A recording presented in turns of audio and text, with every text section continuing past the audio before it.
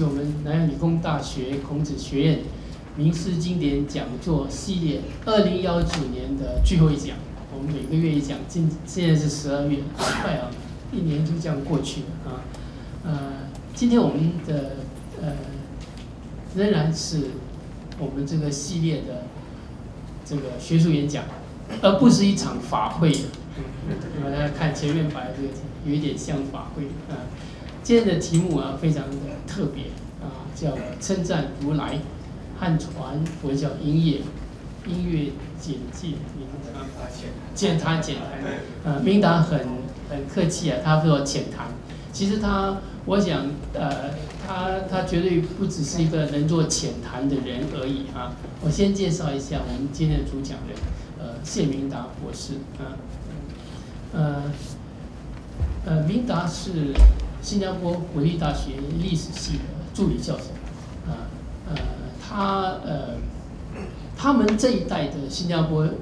呃，学人啊，跟我们这一代的，我是算是他老师辈，哈？我们这一代的这个有很大有有非常明显的不一样啊。嗯，我们这些做呃学长的，其实经常呃感叹他们的训练远比我们完整。嗯，怎么说呢？呃，明达在国大历史系完成这个本科训练以后呢，就到美国哈佛大学念硕士。然后呢，继续到康奈尔大学念博士。呃，本来我们以前呃学校让我们出去念书，念完博士马上就叫我们回来教书的。可是现在大学政策改变了，呃，就是说我们呃派出去的年轻学员啊，就是像明达这样，呃，他还不让他们回来，还要他们再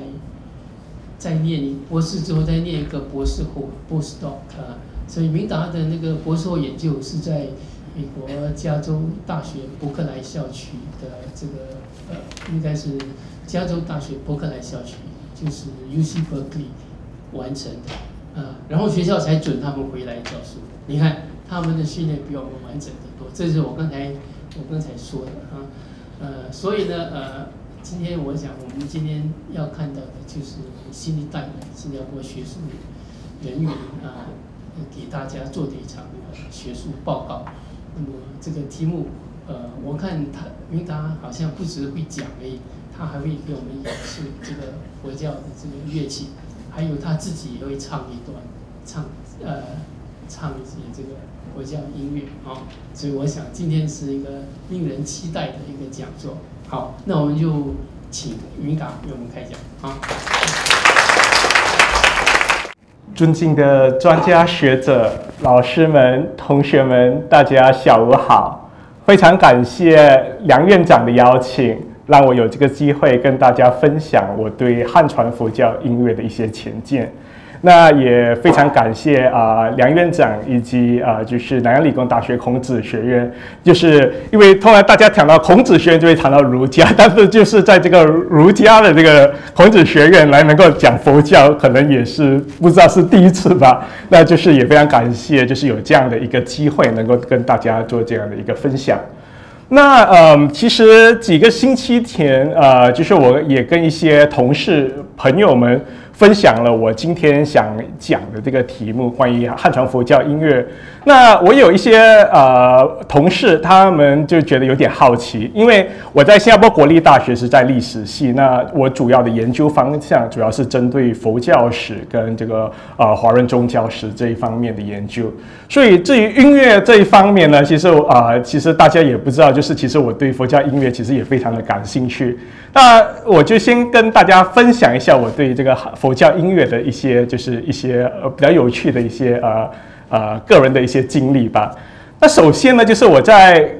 高中的时候，我在念初级学院的时候，我就和一些呃佛友组成了一个佛教的诵经团。那这个是我。呃，年轻的时候的样子，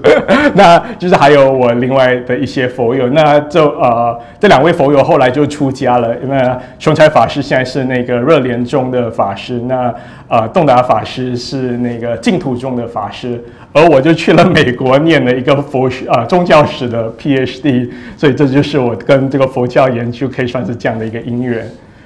那后来呢，呃，我上大学的时候就和一些呃朋友组成了一个佛教的乐团。那当时我们成立了，可以算是新加坡算是第一个吧，这个佛教的这个青年的这个佛教摇滚乐团，那个佛教的 rock band。那当时就是呃受到了一些关注，那后来我们也受到了这个媒体的访问。那有有一篇报道非常有趣，他就提到了这个寿板店老板大力赞助，呃，一群年轻人成立佛学乐团。那我们当时的那个佛教乐团是有一个寿板店，就是啊资助的，那就是当时我跟佛教音乐的这个的一些啊因缘的一个关系。那其实呃，我主要研究其实跟佛教音乐并不完全沾边。那我的研究方向主要是针对近现代的呃佛教发展史，特别是呃汉传佛教以及东南亚佛教的发展。那后来呢，我又呃近来也受到我的太太的启发吧。我太太李明燕博士，她是一个民族音乐学教授，那主要是研究国乐这一方面。那几年前，他就跟我提起，哎，既然你对佛教音乐很感兴趣。那呃，不如那你也研究佛教，那不如你也做一些跟佛教研究相关的一些议题。所以后来呢，就因为受到他的鼓励，我们在二零一八年的这个呃亚洲研究年会，就是所谓的 Association for Asian Studies 这个 AS 的的这个年会呢，成我们组成了一个 panel，组了一个团，是主要探讨亚洲的佛教音乐。那我们当时的那个 panel 是叫做 Singing the Buddha，也就是所谓的称赞如来 Buddhist Music in Contemporary Asia。那我和呃李明燕老师以及就是呃宾夕法尼亚以及斯坦福的一些教授，就一起组成了这个这个 panel，讨论了有关印尼、啊台湾、日本以及西兰卡佛教的不同地区的佛教音乐发展。那提到宗教音乐呢，相信在新加坡，一般人可能对佛教音乐的这个有一种所谓的刻板印象，就想到佛教，通常就会想到丧礼。那很多人就是特别在新加坡，就是有这个比较对于佛教音乐这种刻板印象。那看到这佛所谓的法师，大家也一般如果对佛教不太认识，就以为法师叫南摩罗。那法为什么叫南摩罗？因为他们也不知道法师是什什么叫法师，就只听到法师突然诵经就南摩南摩，那就说哦这些就是南摩罗。那法治诵经呢，就是。通常就会念什么南无讲南无本师释迦牟尼佛，南无阿弥陀佛，就南无南无，就会敲了法器，锵锵锵。但也不知道法师在念什么，就会称这些诵经叫做南无锵。所以连大家讲到佛教音乐，可能联想就是南无罗克南无锵，就是所谓的的这种诵经的这种呃上礼音乐。但其实佛教的音乐其实是不只是局局限于是所谓的上礼音乐。所以我这也就是我今天想跟大家分享的这个题目，就有关佛教音乐。那我今天的演讲主要会分成呃四个部分。那首先呢，我会就是因为我是做历史的，所以我首先要跟大家分享的就是佛教的传播史，就是让大家了解一下佛教的传播，特别是佛教如何传播到中国大陆以及呃东亚地区，形成所谓我们说的北传佛教，或者是所谓的汉传佛教。那之后呢，我就和大家分享所谓三大种类的佛教音乐。待会我会讲的比较仔细一些，就是所谓的传所谓的汉传佛教音乐分成了三大类。待会我会跟大家比较仔细介绍，有所谓的梵拜音乐、佛教歌曲以及商品佛教音乐。所以待会我会跟大家做比较详细的介绍。那我们先说这个佛教的历史吧。那佛教呢是起源于呃古印度，那是全世界啊属于第四大的宗教，那一共拥有五亿信众，是呃非常多啊，是世界第四大的宗教。那在新加坡来说呢，佛教徒也是占人口的大多数，占根据二零一零年的新加坡人口调查，佛教徒占新加坡人口啊比例是百分之三十三点三，是属于啊大多数的宗教。那说到佛教呢，通常佛教徒会所谓的皈依三宝。那皈依三宝是哪三宝呢？就是所谓的佛法僧三宝。那佛呢，指的是 Buddha，就是来自梵文 Bud，Bud 的意思是指觉者的意思。因为就是佛啊，对于佛教徒来说，佛不是一个神，也不是一个神明，而是一个觉者。而一般呃一般人。在佛教的信仰中，都认为一般人都有佛性，都能够成佛，成为觉者，就跟佛一样。那我们在历史来说，我们最来过这个世间的佛是有，就是所谓的释迦牟尼佛，就是当时古印度的一个王子啊，悉达多。后来过后出家修行得道，那称为释迦牟尼佛。那释迦牟尼佛后来就讲经，呃，说法注释四十五年，后来就圆寂了。那佛呢所说的一些所有的教义，所有的这些所谓的佛理，就叫做法。那所谓的法呢，一般是分为三大类，就所谓的三藏。那很多人也不了解三藏，对于一般人可能对佛教不太了解的话的那个刻板印象，三藏就想到唐三藏，对吗？你想那个《西游记》唐三藏哇，去西天取经。那为什么叫唐三藏？其实玄奘大师为什么叫唐三藏？因为他是唐代的三藏大师，因为他是从。中国就中原地区到了印度为天竺取所谓的三藏经典回到中国翻译，所以他取的所谓的三藏经典呢是分成经藏，就所谓的苏达比达嘎，苏达比达嘎经藏就是指佛陀所说的一切的法，就是分为所谓的经藏。那还有第二呢是所谓的律藏，就所谓的 Vinaya Pitaka。律藏呢，指的佛指的是佛教的戒律修行的方式，要就是佛教有非常注重，就是要持戒修行的一个。所以律藏是分三藏的第二个。那第三个呢，是所谓的律藏，就是阿毗达摩毗达嘎，也通常啊也会直直译成阿毗达摩藏。那阿毗达摩就是指佛教比较哲学类的论证，是。古代的所谓的高深大的对于经典的分析理解，而而把它组成的那一部所谓的律藏的部分，所以所谓佛教的三藏就是所谓的佛教的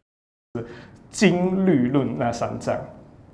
那最后呢，佛教所谓的僧，那当然就是可能比较熟悉，就是所谓的出家众僧人。那当然僧众也有分所谓的比丘、比丘尼。那还有所谓的佛教的七众弟子，那所以其实很多人对佛教也有很多误解，那以为呃所有佛教呃法师就是呃就一律称呃呃男男众法师大家都会哦和尚，女众女众法师大家称为尼姑什么的，就是可能也是比较不太正确的一个称呼。通常就是呃通常出家的法师就是受了具足戒以后是称为比丘，就是梵文比库。那女众法师出家受具足戒之后是称为比丘尼，所以是所谓的比库尼，所以有这样的的的称呼。所以通常那如果是对于法师的一个称呼呢，有时候他们会称为谁是某某法师或某某比丘，也可以称为某某和尚，也是 OK 的。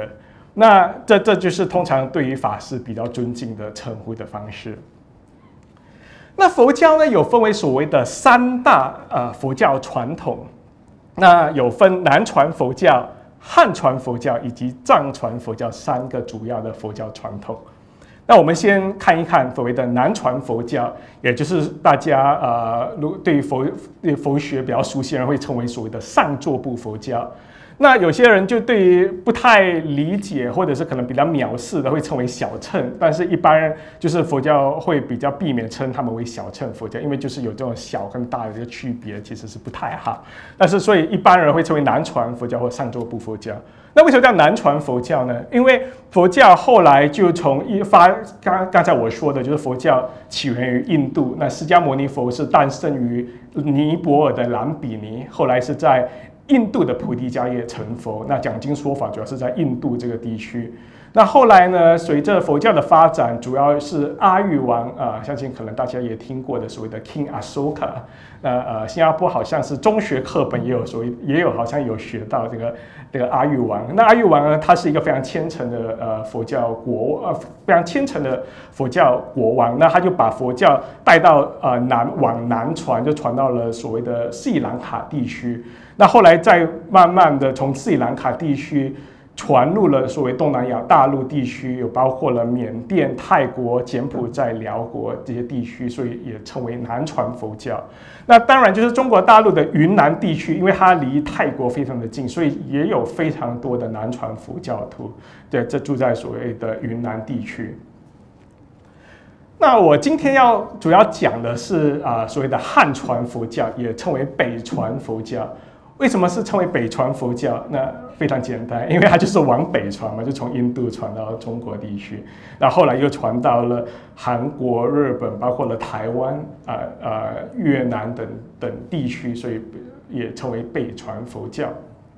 那也是大家会俗称的大乘佛教。那大乘就是啊，这个词是来自于梵文所谓的 “Mahayana”，“Mah” 指的是大的意思。那呃。北传佛教也属于汉传佛教，主要是传到了中国地区。那当然就是在台湾地区也非常的盛行。那还有就是日本、韩国、越南，包括我们新加坡经常会看到的佛教，都是来自所谓的北传佛教，也就是所谓汉传佛教。那近年来在新加坡，就是也会常看到的的呃一些啊佛教团体以及一些喇嘛来新加坡弘法，这些这些呃就是所谓的藏传佛教。那什么是藏传佛教呢？藏传佛教就是从是从呃大概九世纪时期从印度传到西藏地区的佛教啊，就是属于藏藏传佛教，也通常人会称为金刚乘佛教，也会称为密宗佛教的啊这个佛教啊的派啊派系。那藏传佛教主要的呃盛行的地区是有，当然是在西藏、蒙古。啊，不丹以及尼泊尔地区都是信奉啊藏传佛教为主。那当然，后来就是北印度地区也有非常多汉传佛教，因为就是呃许多就是流亡的这些西藏僧侣，像达赖喇嘛，他们后来就就跑到了呃印度的北北边，在这个达玛萨瓦这个地区。那所以北印度地区有非常多的藏传佛教徒。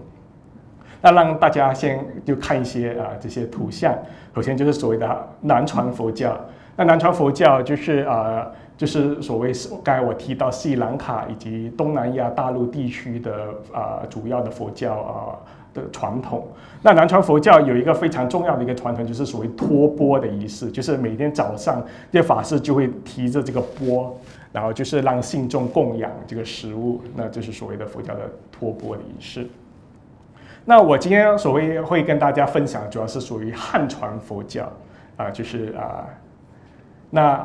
啊刚才也提到所谓的藏传佛教，也就是有时候大家会俗称的所谓的喇嘛教，因为就是藏传佛教主要的僧侣通常会升为喇嘛。那再跟大家呃。分享一些有关汉传佛教的历史，呢，那让大家能够更了解这个呃汉传佛教音乐形成的一些历史脉络。那首先呢，佛教是大概在西汉末时期传到了呃中国中原地区。那当时有非常两位非常重要的高僧，有所谓的呃竺法兰以及迦叶摩腾两位高僧，就把汉传佛教带到了中国。那到了西晋时期的时候，有非常两位非常重要的这个高僧，以及所谓的啊翻译大师，有道安大师以及朱摩罗什。那他们两位就是把所有啊许多的所谓的佛教经典，从梵文翻译成中文。那后来就有所谓的这个中文经典的这个在中国就是中原地区的这个流通。那到了南北朝时期呢，有一个非常重要的一个国王啊的一个帝王叫做梁武帝，可能大家有听过。那梁武帝呢，他本身信奉佛教，也非常啊支持佛教的弘扬以及推广。那他也因为这个原因呢，后来也就是找了他的国师来帮他编了一部佛教非常重要的一部呃，算是啊忏法，叫做《梁王宝忏》。那有时你在一些佛教的一些道场有有所谓的梁王宝忏法会，那其实是起源于梁武帝。那佛教，那刚刚我提到，这佛教其实是起源于印度。所以，当佛教早期传到了中国地区的时候呢，它是被呃被当成是一个外来的宗教，所以当时就是他们就认为这些法师有点像是 foreign talent 这样子，所以有点对于这法师有点排斥。所以，其实到了佛教应该到了隋唐时期就开始逐渐的汉化，就从一个比较属于比较印度的一个宗教文化，慢慢的就是在地化，形成所谓的汉传佛教。那一般学者会认为。隋唐时期，特别是唐代时期，是佛教汉化最重要的时期。那当时啊。佛教汉化的这个呃时期的时候，有一些非常重要的一些代表人物，有包括了玄奘大师，像刚才刚才说到了所谓的唐三藏。那当然，真的玄奘他其实是没有孙悟空、猪八戒，那个是明代的一个小说。那玄奘他是啊，当时唐代的一个高僧，那他就从这个啊。呃中国地区到了所谓的呃印度，当时的印度地区啊，包括也去了所谓纳兰陀那里，就是学习佛经。然后后来就把这些所谓的三藏这些经典佛法带到了中国，然后进行了这个翻译。那除了玄奘以外，还有意境大师，也是一个非常重要的人物，也是当时也是啊到印度去所谓的取经，后来也把这些经典带到了中国翻进行翻译的。然后，呃，唐代也有一个非常重要的一个代表人物，是所谓的六祖慧能。那如果大家对禅宗有一点认识的话，也知道六祖慧能大师是啊，算是汉传佛教禅宗一个非常重要的一个代表人物。那也他当时就是因为他写了一个诗，然后后来他的师傅就觉得哦，他这个觉悟，可能大家有听过，就是他写的“菩提本无树，明镜亦非台，本来无一物，何处惹尘埃”。那他写那个，他的师傅就呃就察觉到哦。他是一个非常有决心的一个呃的一个，所以就把他衣钵传给六祖慧能，成为所谓禅宗六祖的大师。那呃，唐代也有一个非常重要的一个人物，就是其实是武则天。那大家可能对于唐代比较熟悉的话，知道武则天她当时是对佛教的弘扬是有扮演的非常重要的一个角色。然后她当时就是发起了建造佛寺，也以及啊。啊，把许所有的把许多的经典，就是在当时呃非常广布的这个流通，所以是也是一个非常重要的，对汉传佛教发展应该算是一个非常重要的一个人物。那从这里我们就来进入我们今天啊，就是演讲的所谓的中心主题，就是所谓的汉传佛教的音乐。那根据就是台湾呃民族音乐学家陈碧燕教授在呃这个呃学术期刊《Ethnomusicology》民族音乐学期刊发表了一篇非常重要的的论文，《Buddhist Chant, Devotional Song and Commercial Popular Music》这篇文章。那呃如果大家对民族音乐呃熟悉的话，《Ethnomusicology》这个期刊是算是民族音乐学这个学科最重要的的一个学术期刊。那在这个这篇文章里。陈碧燕教授提出了，呃，汉传佛教是可以分成三大种类来研究。那有有分所谓的梵拜音乐，就是所谓的 Buddhist chant；佛教歌曲，所谓的 devotional songs；以及所谓的商品佛教音乐，就是所谓的 commercial Buddhist music。所以我就会跟大家来讲解这三类的这个不同的佛教音乐。那首先呢，先跟大家说一下所谓的汉传佛教音乐为什么有这个佛教音乐的这个产生呢？那其实佛教音乐其实是跟佛教的经典有关的，因为根据佛教经典来说，啊，就对于佛教修行者来说，对于称颂佛陀是一个非常重要的一个修行的一个方式。就如像《法华经》云：“或或以欢喜心歌拜颂佛德，乃至一小音。”接供成佛道，所以说到啊，这个唱诵佛陀的赞佛是非常重要的的一个功，呃，有非常重要的一个功德。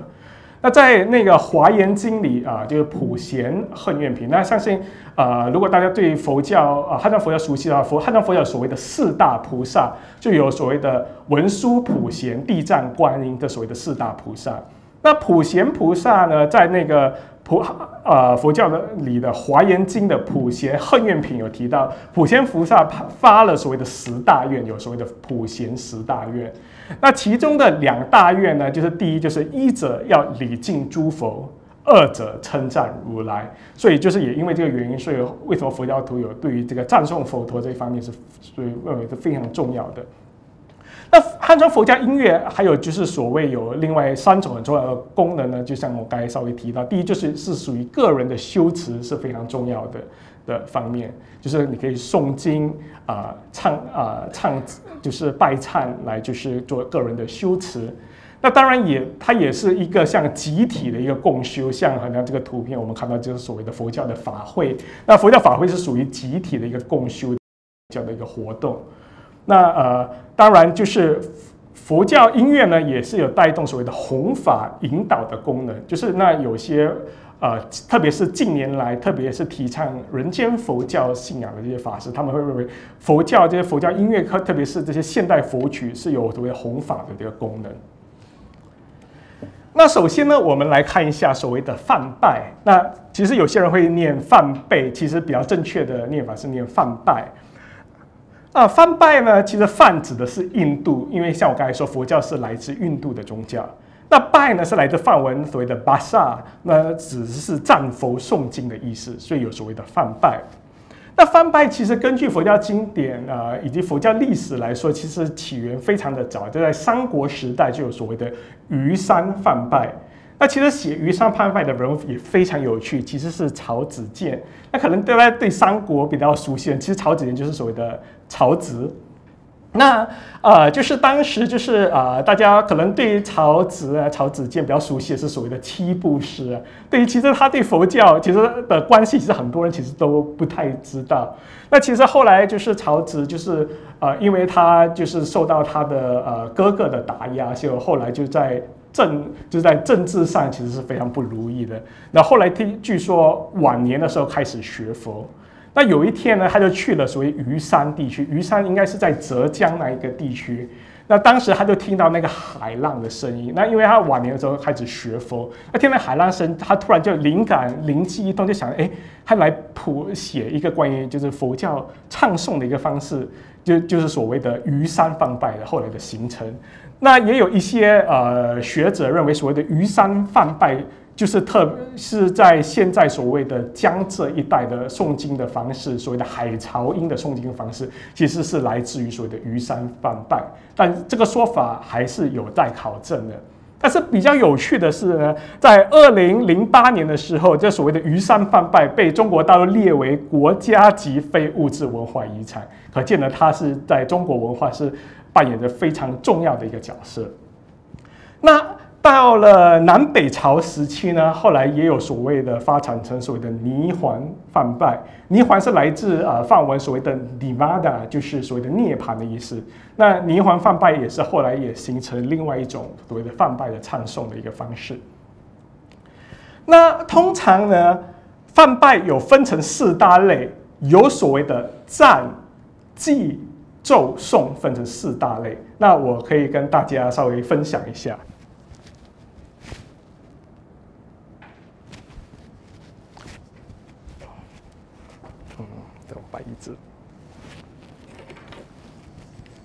那呃，大家听啊，听得到啊，好好好，啊，谢谢安老师。好，那首先呢，赞的方面，赞通常是像诵经之前啊，通常法师会唱赞。我我目前我现在唱的，我会以快板的方式啊，那待会我会跟大家比较呃详细的介介绍解释一下。那快板的赞呢，通常是像诵经之前的时候会唱赞，像我举个例子，像像炉香赞时就这样。炉香赞热法界梦时，像这样子是唱赞。那炉香赞，或者像呃杨枝净水净水赞啊，或者是界定真相这些赞，都是诵经之前会先唱赞，然后再诵经。那赞也有所谓的赞佛的的部分，就是诵经结束之后呢，通常有人就通常啊佛教徒就会念佛号。那念佛号之前会先赞佛，那都会念所谓的赞佛记。那我先啊，那我就念一段啊赞佛记跟大家分享。天上天下无如佛，十方世界亦无比。所以像这样子就是一个赞佛记。所以通常念到后面的时候，像啊像我刚才念的大佛记是释迦牟尼佛的赞佛记，所以到了后面就会南无娑婆教主。啊，本是释迦牟尼佛，那那后来就会开始念佛，好像南无本是释迦牟尼佛，就会大家就会绕念这样子。那第二呢，就是所谓的偈。那偈呢，在佛教有分所谓的五五句偈以及七句偈。那偈其实来自梵文所谓的 gata，那偈呢通常是比较像呃所谓的诗，那有五句跟七句的。那偈有些时候是用念的，有些时候是用唱的。像举个例子，像啊如果是诵经之前的时候，我们有会通常会念所谓的开经偈。那开经偈的时候，我们是会用念的，像这样子。无上甚深微妙法，百千万劫难遭遇。我今见闻得受持，愿解如来真实义。像这样子，就是用念的。那像既有些时候会用唱的，会像是好像诵经结束了之后，我们会念回向祭，就是把所谓诵经的功德回向给给十方众生。那通常回向的那个祭是会用唱的，像这样子。愿消三障诸烦恼，愿得智慧真明了。不愿罪障悉消除，世世常行菩萨道。你像这样子，就是用唱的。那咒呢？咒因为像啊咒，通常是所谓佛教的陀罗尼，就是来自梵文 dharani。那陀罗尼根据经典来说是有一定功能力量的一些经典，那所以当时那些佛教大翻译大师认为陀罗尼就所谓的咒，他们决定就不把它从梵文翻译成汉文。那咒呢，通常一般是会用念的方式来念，像举个例子，像啊我来念一段啊往生咒。南无阿弥陀佛，耶多达谢多耶多耶达阿弥利多波比阿弥利多斯坦波比阿弥利多毗迦兰毗阿弥利多毗迦兰多千弥利切千难智多迦利娑婆诃。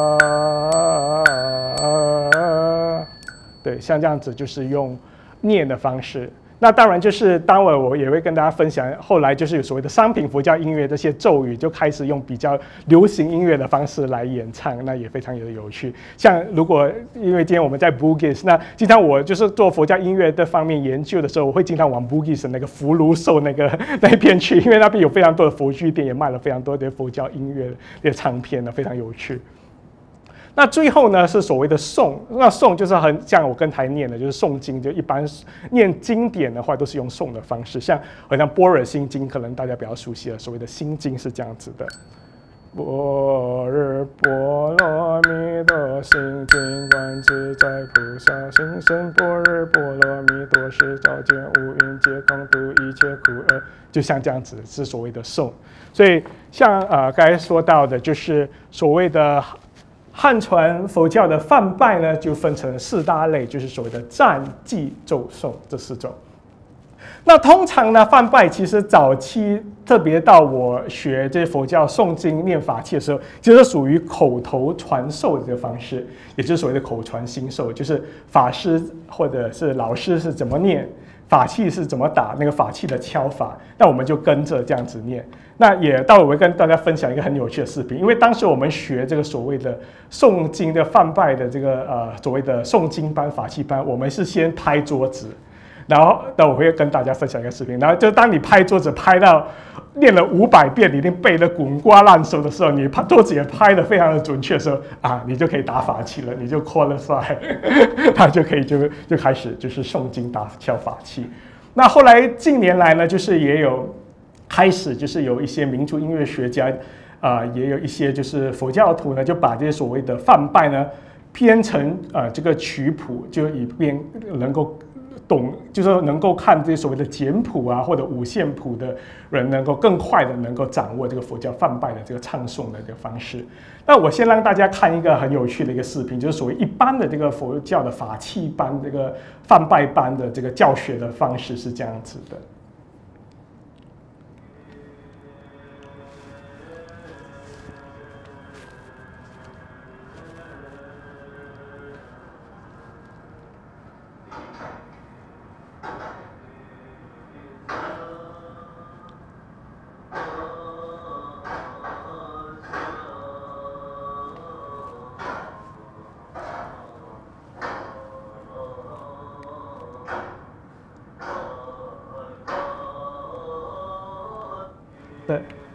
对，所以就是当你拍练了五百遍，你背熟了，那这个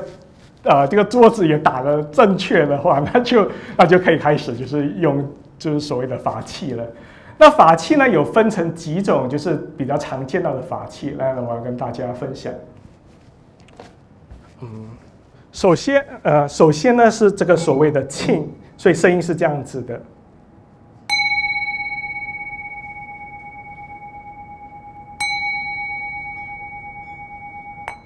所以这是所谓的磬。那很有趣的是，这个磬传到了西方呢，那一般西方会称它为 singing bowl，就是好像会唱歌的一个碗，对，非常有趣。那看起来是确实是有点像一个碗。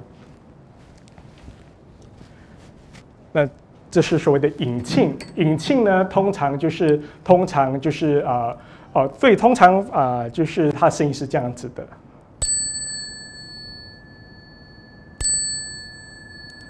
那通常引磬跟那个呃磬呢，通常是会同一个人打。那那个打敲的人，待会我会跟大家更详细的解释。那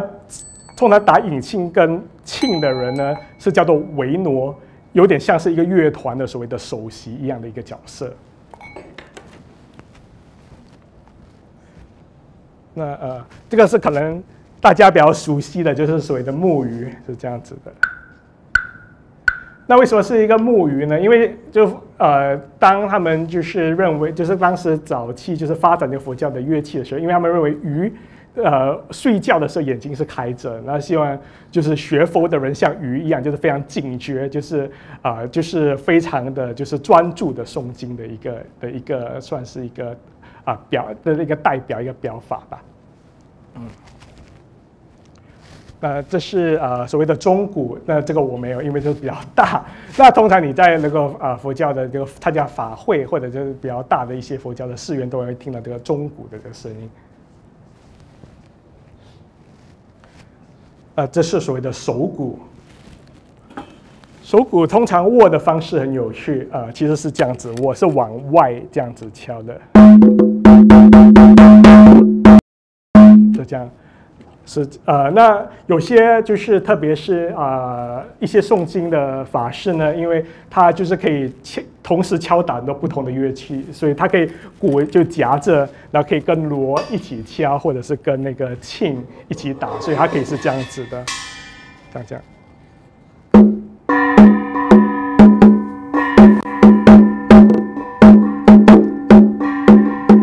像这样子。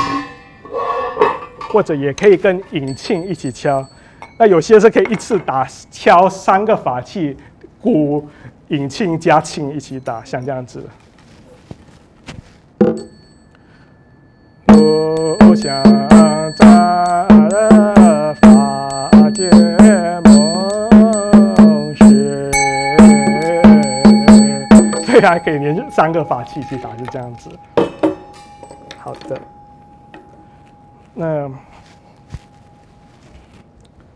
呃，这是呃所谓的档子，那这个我就比较少用，所以我也没有 我没带这个这这个法器。那它就看起来是很像一个一面镜子一样子，那跳起来是有当当的声音，所以也 也就是因为这个原因，所以大家称这个为档档子。那这个呢是所谓的哈子，也就是如果熟悉啊对华乐的，通常会称为。拔，但是呃，佛教会称它为哈子，就是这样，这样发出的声音是非常响亮的，像这样子，所以是这样子的一个声音。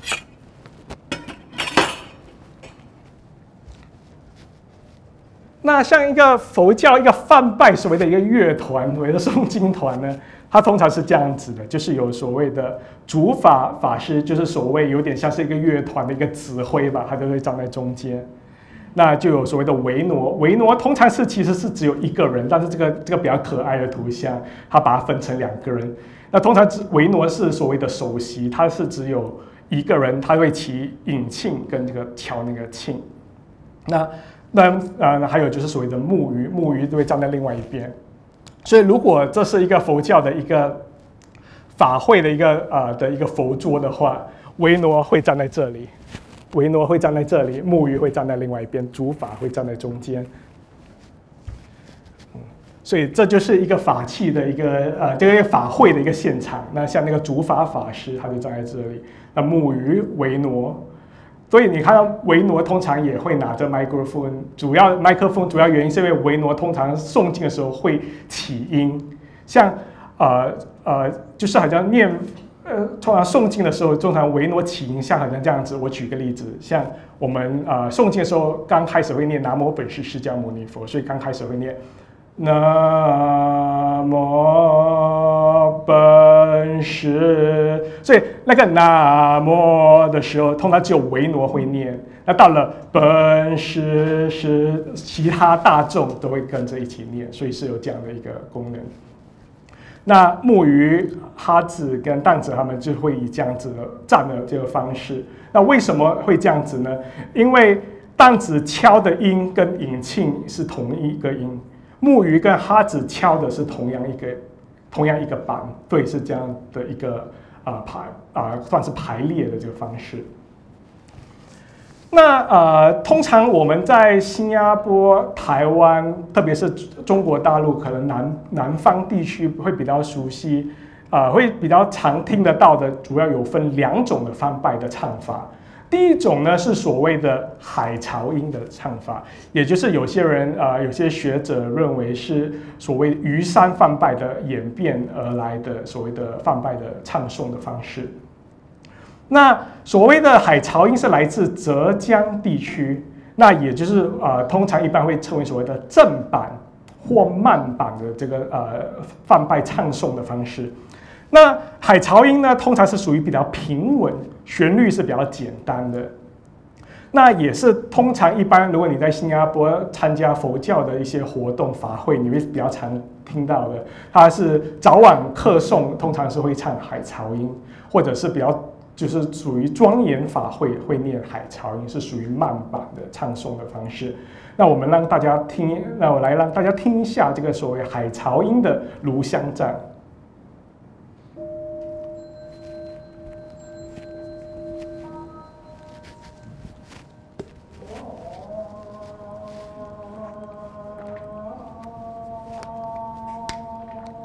所以说维诺起音，所以念的是维诺，然后太大众才一起念。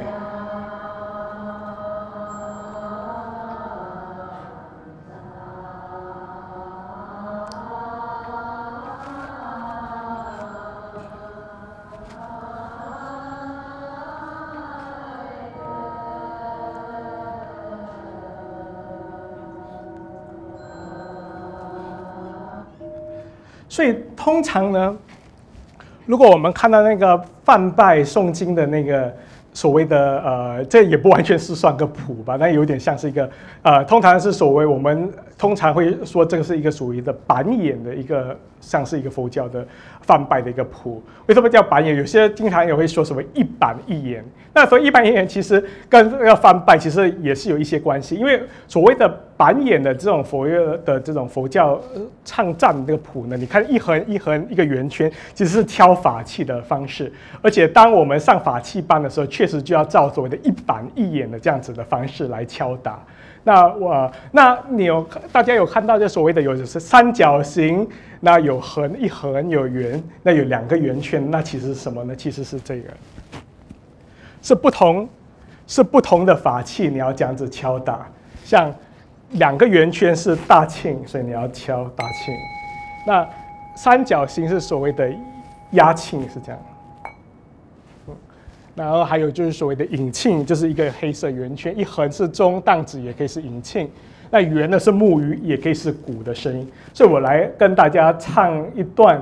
那个呃海潮音的炉香赞，让大家了解一下，通常是这样子啊敲这个法器的。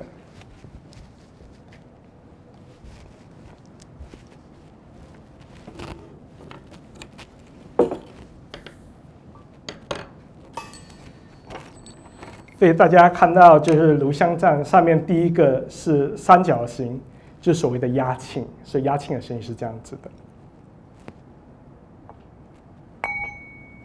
好，炉。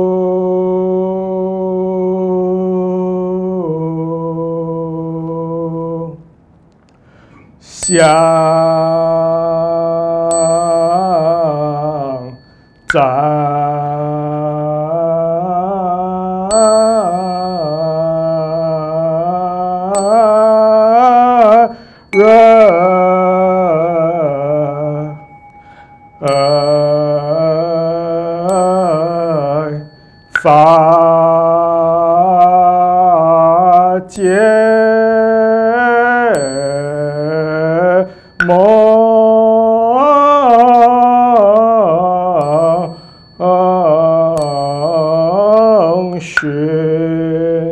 是这样子的的方式来学。那通常呢，像为什么刚才你有看到，就是那个呃法器班是有分左手打跟右手打，所以因为通常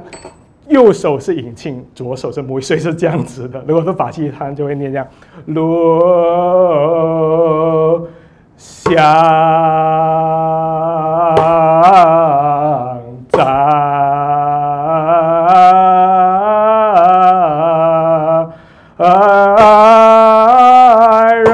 所以你就是会这样子念。所以当你这样子念了五百遍的时候，那你就很熟悉，你就可以就是 promote 来就是敲这个法器。好，那我们就从这个海潮音呢来进入一个啊、所以像刚才我说的有所谓的谱，那这是所谓的一个简谱，就是大家看到所谓的二三二三，就是所谓的哆瑞咪的简谱的方式。对，就是如果呃会看谱的人，就是他们只要一看这个，他们就大概知道是要如何唱。那呃，另外一个很有趣的呢，呃，可能大家会比较熟悉会听到的这个呃佛教翻倍的唱法是所谓的鼓山调。那鼓山调是来自福建地区，那它属于快板，也可以叫做花板的方式诵梵呗。那通常呢，鼓山调主要是在所谓的金灿佛事，就是所谓的通常是所谓的红白事，就是包括了像佛佛教的一些呃像庆典啊、像啊有时是所谓的开光仪式，或者是所谓的白事，是像佛教丧礼会比较常听到的是所谓古三调的这个呃送翻拜的方式。那古刚才我提到海潮音呢，它是有所谓的一板一眼的这样子的法打法。那鼓三调呢，通常是靠所谓的感觉打，那有时候就是有些法师说哦是靠 feel，因为有时候就是鼓山调会打个花鼓花板是属于快板的，所以它其实没有到一个呃一个方式是你要这样子打都可以，特别是花鼓，其实打的是非常有趣的，因为花鼓的打的方式有分风雨雷电四个四个方式来打，所以是可以算是有些人会认为是一种所谓自由式的一种打法。那为什么会有这样子呢？因为通常鼓山调通常会制造比较呃气氛热闹的那种感觉，那通常会运用的一些法器就有包括所谓的手铃、锣跟唢呐。像手铃，通常你会看到是这样。那通常主法法师呢，通常是会呃，通常就是像海潮音主法法师是不持，就不会持任何的法器。但是鼓山调呢，通常法师会摇手铃呢，通常是这样子的。像炉香站快板，呃，待会呃，我先唱一小段跟大家分享，就是会是这样。炉香站人法界梦是，呃。就是是这样的一个声音。那更好玩的是，呃，会有锣，锣通常就是特别是呃到了最后的时候，就是有点像那个 finale 哦，到最后是就是念大回向的时候，有时法师会敲那个锣，这个声音非常的强响。那呃，就坐前面的的这些呃的朋友们，就可能就比较不太好意思。那我会敲小声一点，让跟大家分享一下。放锣的时候，他会敲的比较响，像念呃回向记的时候，有时候会敲锣，像这样。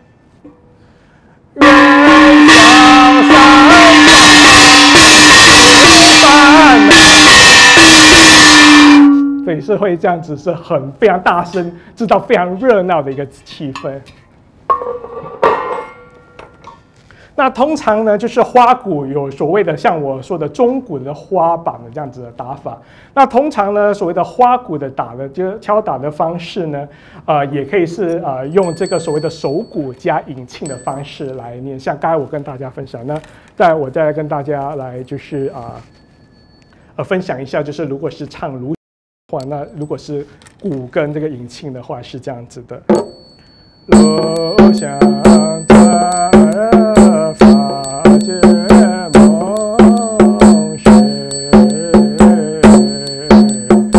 所以是这是属于所谓的花板的鼓，因为一般如果是放拜的炉香站慢板的话，如果是吃引磬跟手鼓，其实是这样子的。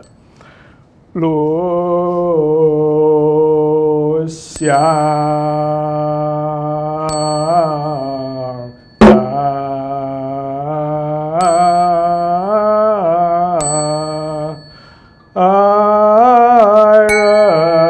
是这样子的一个声音。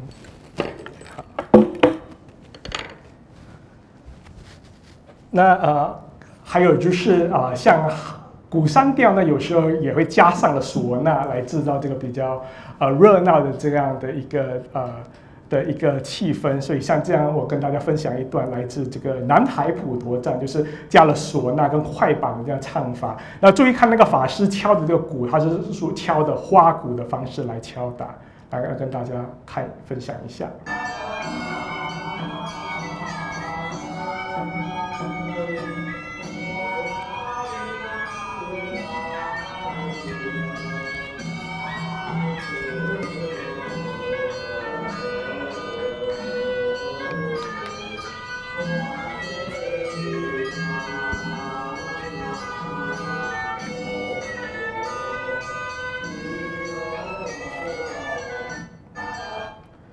所以，这所以这这这是所谓的那个啊鼓山调的这个念诵的方式。那呃，我记得几年前也有一个非常有趣的报道，当然就是也有就台湾的法师就鼓山调加了这个爵士鼓一起打，那然后后来就有受到台湾媒体的这这个呃的这个呃呃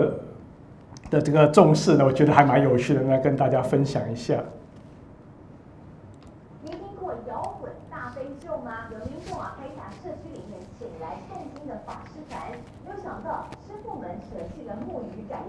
是鼓来动金，不但鼓打得有模有样这节奏控制一点都不输给摇滚乐团的鼓手。影片一上传，立刻吸引网友的目光。大战第一次听到佛经这么有感觉，还有人说希望能够请教法师有没有要收徒弟。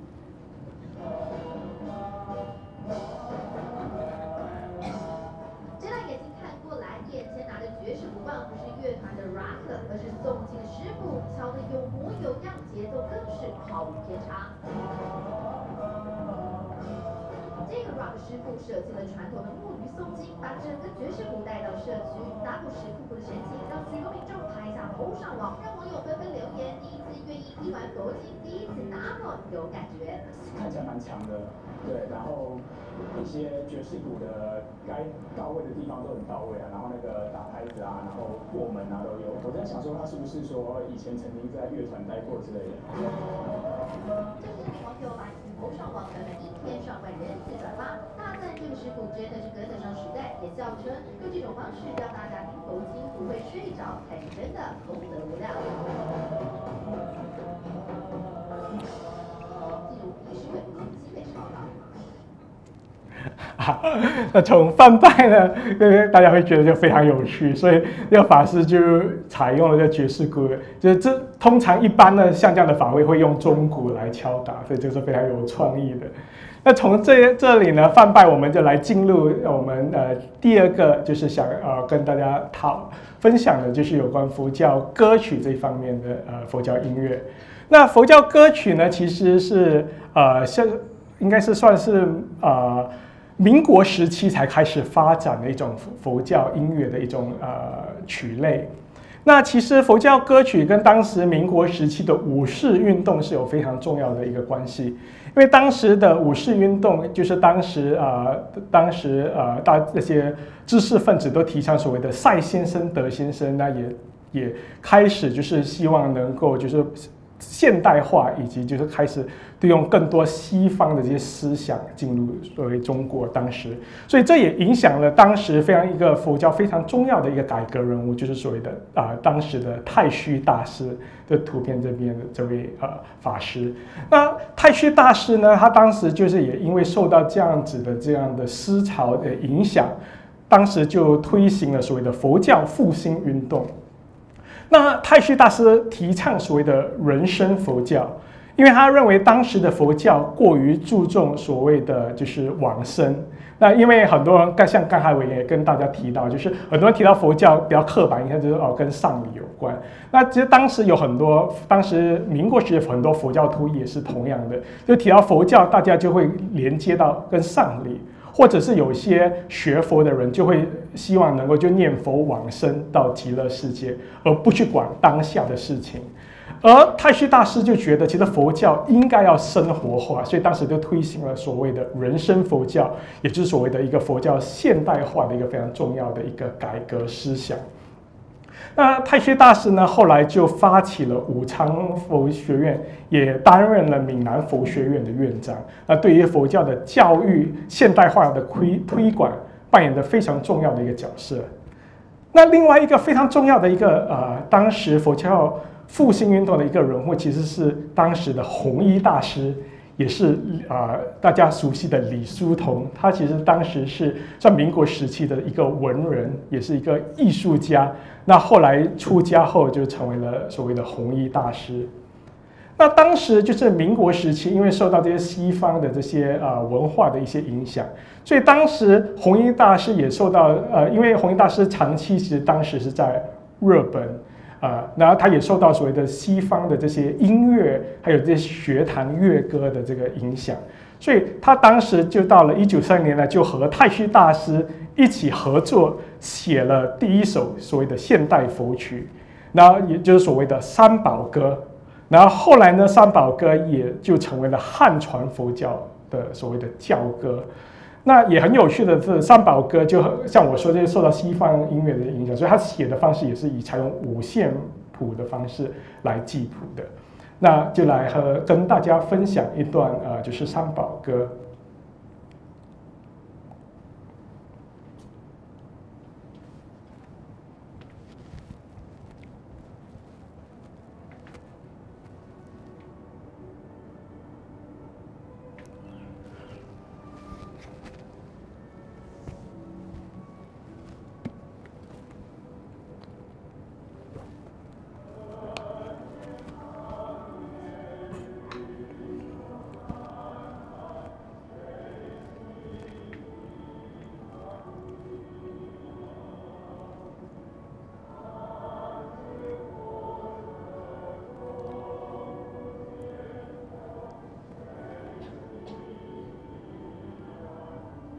就在座的各位，有任何人是念菩提学校、弥陀学校或文殊中学的吗？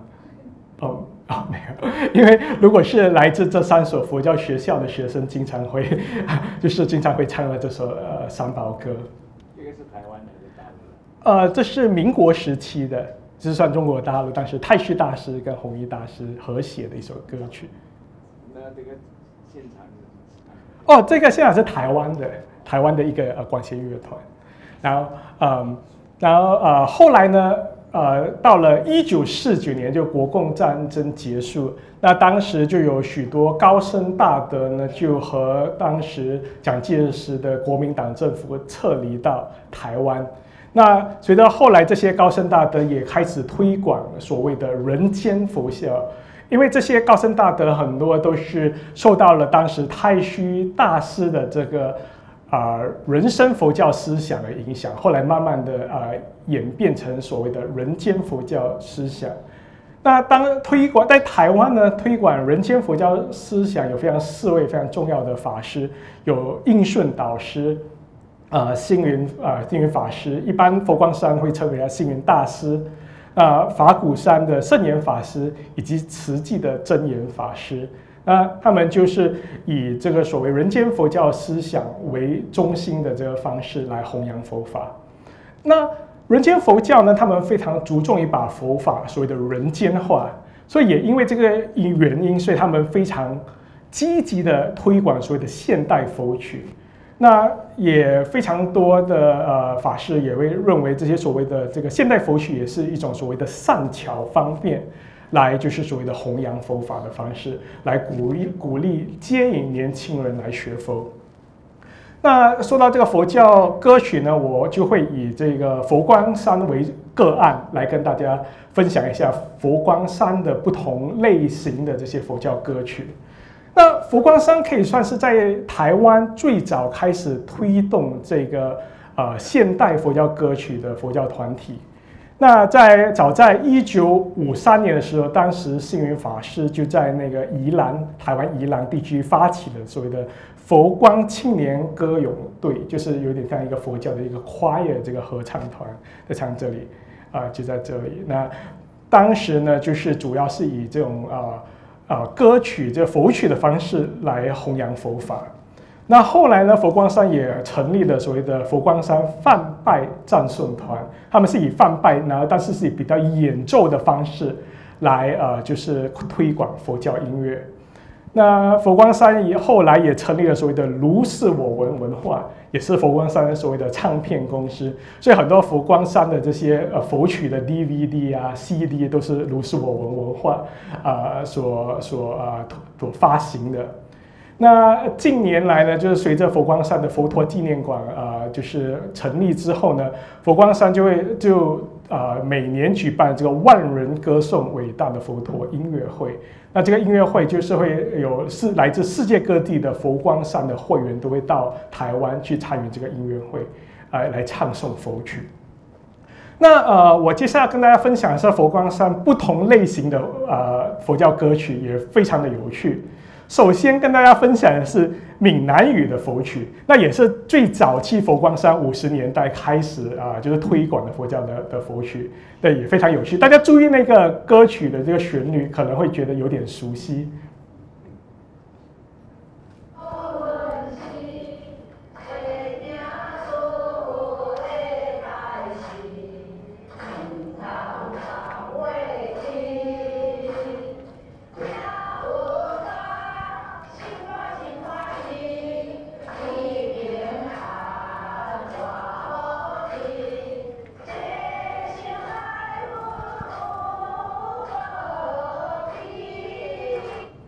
非非常的有趣，那可能大家如果比较熟悉这个台语的台语歌、闽南语歌曲的，可能会觉得，哎，这个歌曲有点熟悉啊。其实呃，让大家听一下，会不会觉得很熟悉？是，其实是四季红，是邓雨贤的那个歌曲。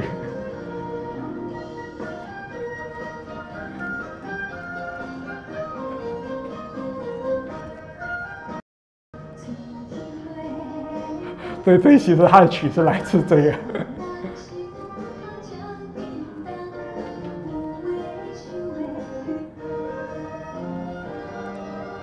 也非非常有趣。那当然说到邓宇贤，可能大家如果比较熟悉闽南语歌曲，他也是那个《望春风》的那个呃的的的呃呃作曲者。那接下来呢，就跟大家分享佛光山有另外一种比较有趣的一个呃种类的这个佛曲，是所谓的 a cappella 的这个演唱的方式，也就是所谓的这个无伴奏合唱的方式来唱佛曲。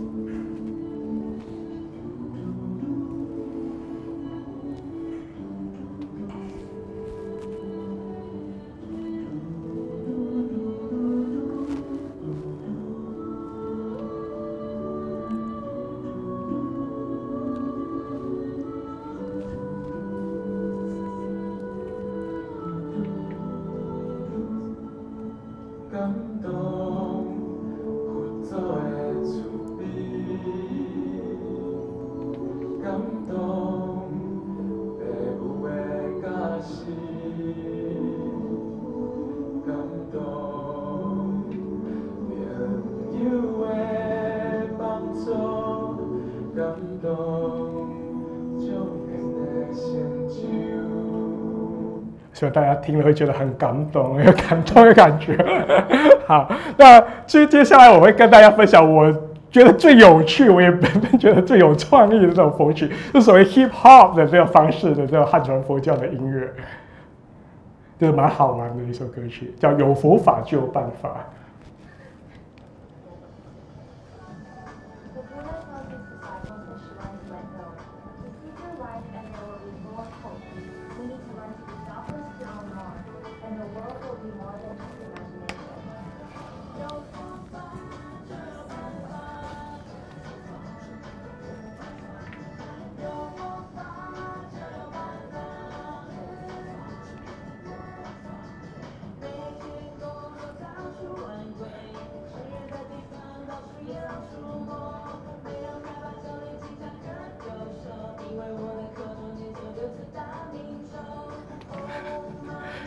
然后我再跳到那个后面 rap 的部分，非常有趣。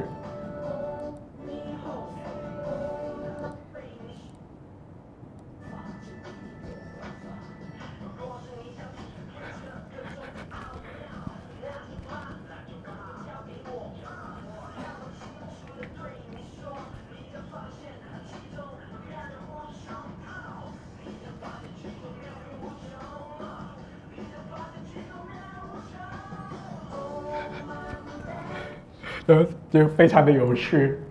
那近年来呢，也随着因为基督教音乐的这个发展呢，也影响到佛教的这个呃佛教音乐的这个发展。那基督教音乐在特别在六十年代之后，开始有所谓的基督教摇滚或者所谓的福音摇滚这种 Christian rock 的这种呃基督教歌曲。那这些所谓的基督教摇滚音乐呢，后来就演变成所谓的这个赞美。敬拜诗歌，就是所谓的 praise and worship songs。如果你在新加坡的一些呃，像是 New Creation Church 或者 City Harvest Church 这些教会的话，你会常听到他们其实礼拜的歌曲是采用所谓的基督教摇滚的这样子的风格的基督教音乐。那他们所唱的这些歌曲呢，是所谓的赞美敬拜的诗歌。那我跟大家分享一小段这个基督教的。这个非常有名的这首歌曲叫《Shout to the Lord》，那它是这首歌曲是澳大利亚 Hillsongs 教会的一首非常有名的一首歌曲，后来到了呃欧美地区，包括新加坡、东南亚地区也非常盛行的一首歌曲。那你们注意一下这个歌曲的风格，那我们来比较一下佛教的这些所谓的佛教的这些啊佛佛教摇滚歌曲的风格，就让大家听一下这首。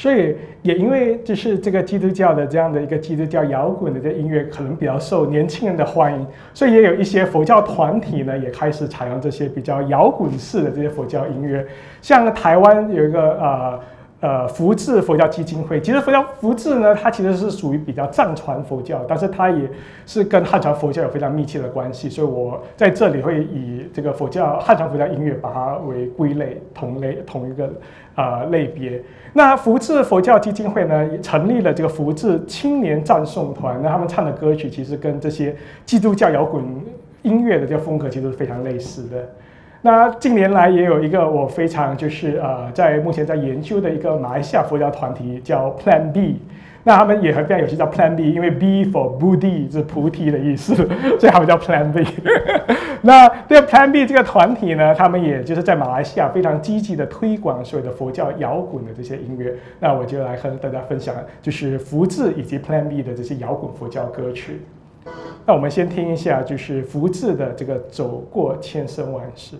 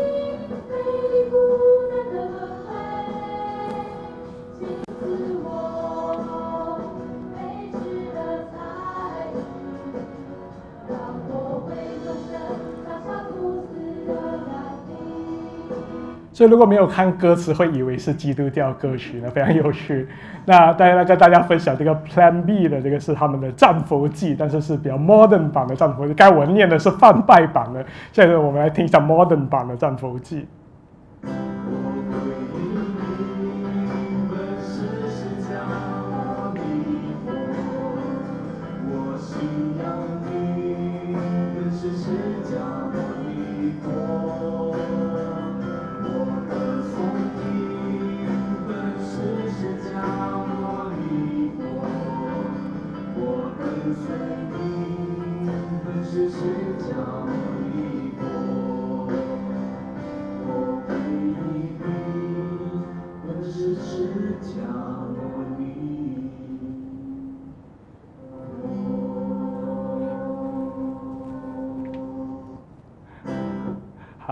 那讲到我们现在呃，也时间也差不多要到了，所以我很快的进入我们最后一个啊哈佛教音乐的这个种类，就是所谓的商品佛教音乐。那商品佛教其呃其实跟所谓宗教学者所谓研究的这个宗教商品化的这个现象有非常密切的关系。那所谓的商宗教商品化，所谓的 religious commodification，指的就是所谓的佛教的不只是佛教，就所谓的宗教团体开始就是有提供所谓的商品让信徒呃售买啊，就是让信徒能够就是采购。像呃佛教的话，有哪一些佛教商品呢？就除了当然佛教音乐这些所谓的这些 CD、DVD 以外呢，有所谓的佛像。那像泰国的话呢，有所谓的佛牌。或者那有些人就会选择买一些，就是呃像一些佛教的一些装饰品啊什么，这些是所谓的宗教的商品化的一个现象。那当然就是随着这个宗教商品化呢，当然音乐也是可以销售的一个，也是能够让佛教团体销售的。所以那说到佛教这个商品的音乐呢，其实也可以分成三个种类。首先是有所谓的传统啊佛教商品佛教音乐，就是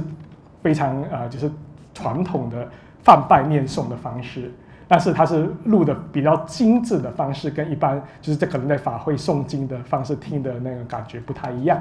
那第二呢是有所谓的现代的这种音乐，就是所谓的经典佛曲，但是是新唱。那最后呢有所谓的流行呃音乐版本，就是有所谓的电音，就是所谓 techno 啊或者一些 rock 的这些佛教的这个风格的这些佛教音乐。那我要让跟大家分享的一个例子，是我们来看一下大悲咒，因为大悲咒在汉传佛教这个非常经常会听到的。那其实大悲咒也可以有分成这三种这种不同的种类，来成为这种所谓的上品佛教音乐。来，首先我们来听一下这个传统的大悲咒的的念诵的方式。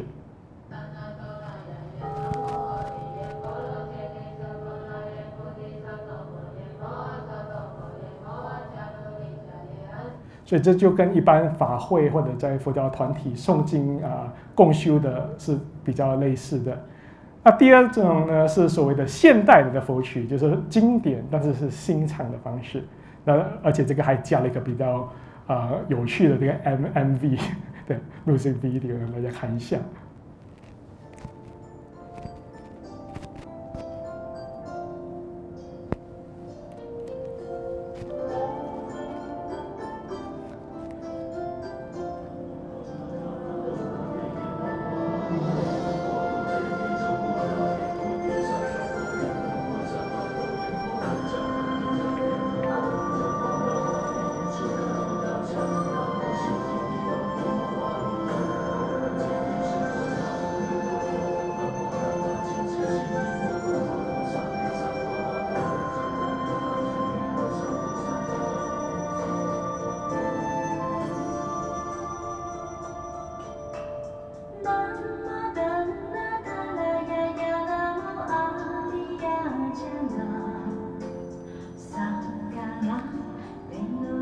就是这样子的。那到最后呢，就让大家听一下这流行，这种所谓电音 techno 版的这个大悲咒。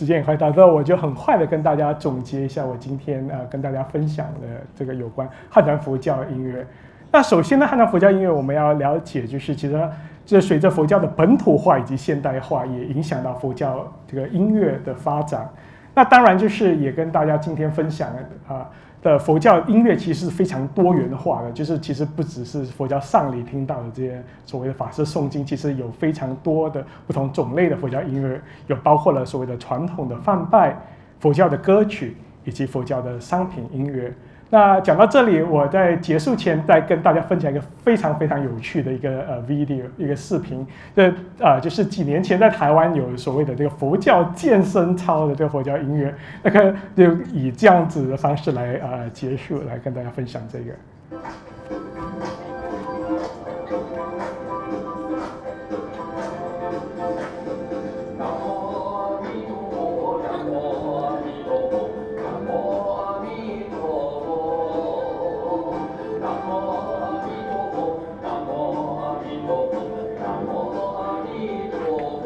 其实这个部分更好玩。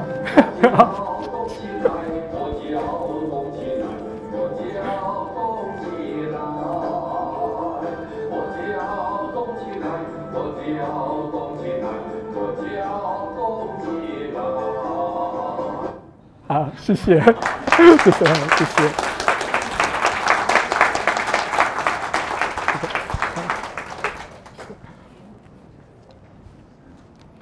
谢谢，这这这啊，好，谢谢，谢谢啊，好，好，啊，好，嗯哼，好的，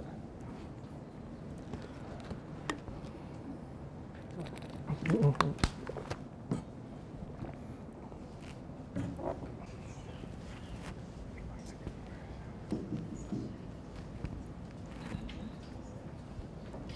大家好，这个很很不一样的。今天这个二零幺九年我们名师经典讲座系列十二讲，这个是高潮。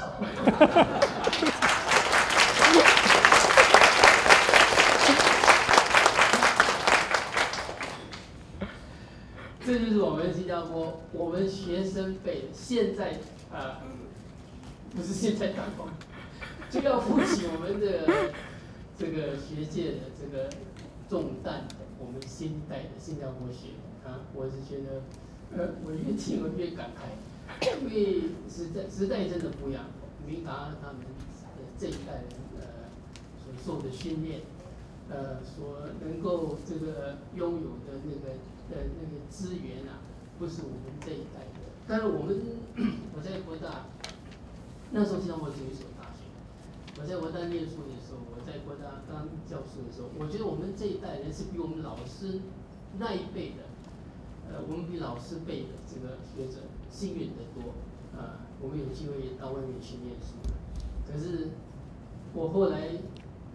慢慢的在现在国大，然后到南大去，我越来越觉得后生可畏。为什么呢？就是他们这一代人，呃，他们这个生活的时代，正是这个。资讯时代来临的时候，呃，我们说有 Generation X、Generation X、Y，他们还有 Generation Z，或者是 The Millennium，他们这个信息的沟通啊、分享啊，从他们做孩子的时代啊，就已经是没有这个国界疆域的限制，所以他们接收的资讯信息，他们不是我们是读书的人，他们不只是读书的人。他们是看很多东西啊，那么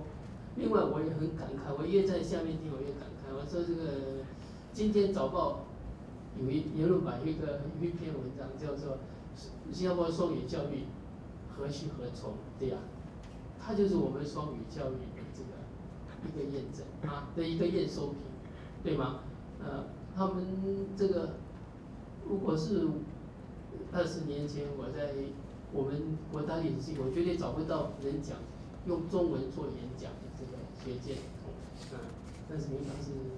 明堂是国大历史系，不是中文系，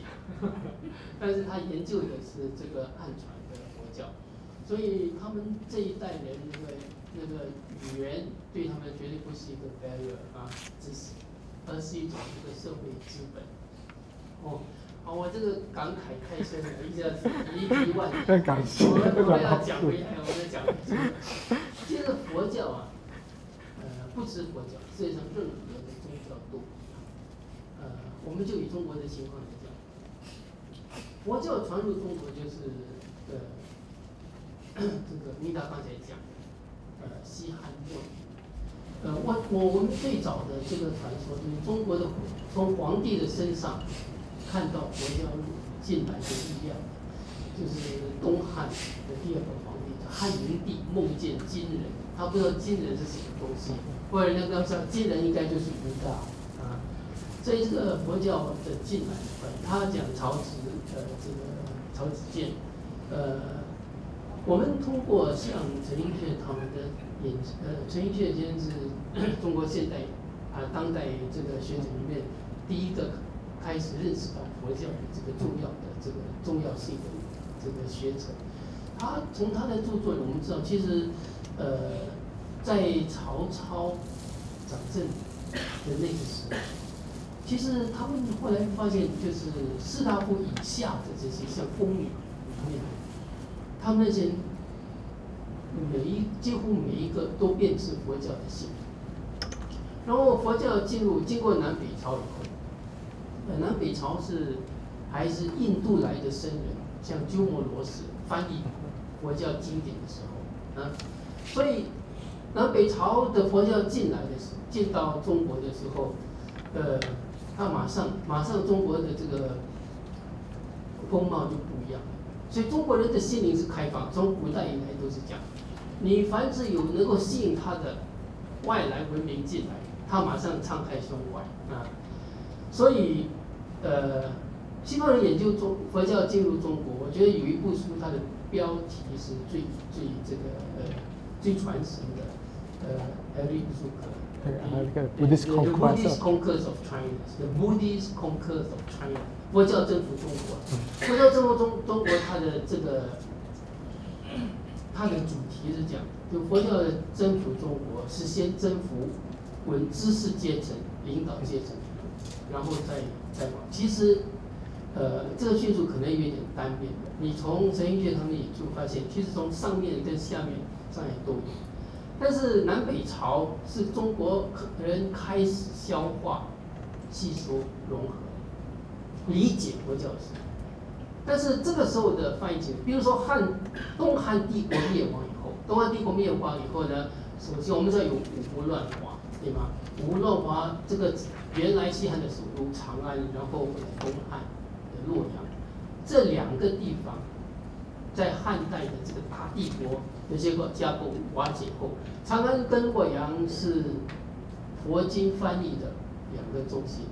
是世界上的佛经翻译的两个中心。不是中国的佛经翻译中心，是世界规模的佛经翻译中心。这个佛这个佛教在通过喀什米尔高原，呃，这样进入这个南传汉传佛教，从克什米尔，就是中国呃，这印度跟巴基斯坦以真挚的那个来，呃，那么通过来到中国，他们是在北方以长安跟洛阳作为翻译经典的东西，因为你来的。远来的和尚不只会念经啊，他还会讲，他会讲中国话。所以那个时候是鸠摩罗什他们那样的印度来的僧人作为主要翻译的人物的时候。但是南北朝是五百年下来，到了唐代，就是明达刚才讲，就是唐代。所以公元七世纪是很重要的，这个佛教中国化非常重要的一个一个时你看重要的几个人物，武则天。武则天，这个以一个一个女性做一个皇帝，啊，她对佛教的信仰的一种尊崇啊，怎么样的推扬？这是用这个统治阶级的力量，怎么样的这个呃推扬佛教？然后呢，玄奘法师敬意意境，还有谁？啊，六祖慧啊，六祖慧，七世纪是中国人，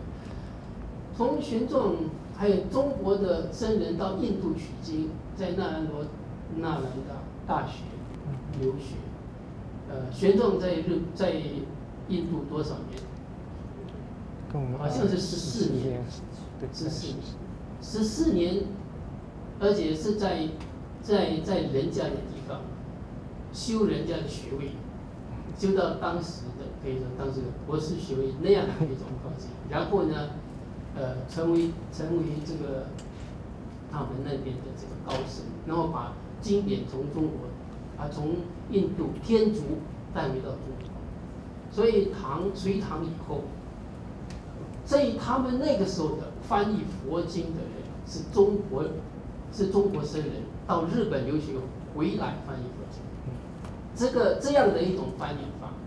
跟由印度人翻译的，由由由印度来的僧人翻译的，这个是代表两个时代，是中国对。中国人对佛教真正的融化，变成自己的自己的东西，那个是隋唐以后才啊。从此以后，你看，所以我们那个刚才呃，尤其讲到这个人武帝，我们不知道杜牧有一首诗，对吧？叫做“南朝四百八十四，多少楼台烟中，偏安江左的啊，这个。”宋齐梁陈这小小的地方就有四百八十寺，所以你可以看到这个佛教，这是中国的心灵是相当开放的。凡是他认为对他有用的东西，他就吸收，然后转化变成自己的东西。变成自己的东西以后，他也跟着时代脉搏在跳动，把它变成是自己生活的这个一部分。所以这个就是刚才这个明达讲这个呃。这个太虚，他们很重要。就佛教的现代化，在民国，尤其是二三十年代，但是这个很可惜的，因为这个政局的发展，这个东西在整个中国当中断啊。但是我们看到这个，你看现在像法鼓山，像这个像这个呃慈济，然后呃新余那个佛光山啊，这些都是我们很是相当熟悉的。这个这个佛教的宗派，这些民间，这哦不是民间，人间宗教就是佛教现代化的一个一个名词，一个代表。所谓的佛佛教的这个人间化，就是人间佛教。它其实就就的信息很简单，佛教跟的生活化，也就是跟现代化，跟我们人日用的东西怎么样结合在一起，嗯。讲我我是讲太多了，就是我是应该在最后总结的时候讲的，现在应该让明达接受大家的提问，我已经也乱了。好，各位大家有什么问题？嗯，好，有没有或者什么想法要跟明达分享的，也非常欢迎啊。还是要点歌的也可以。